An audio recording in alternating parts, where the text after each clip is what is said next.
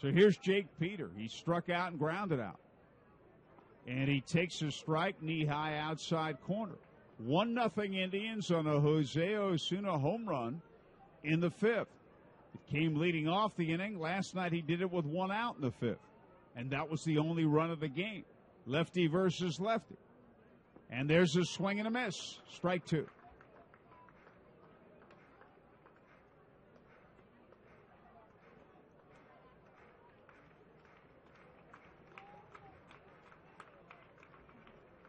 And again, the runners lead. The left-hander stretches.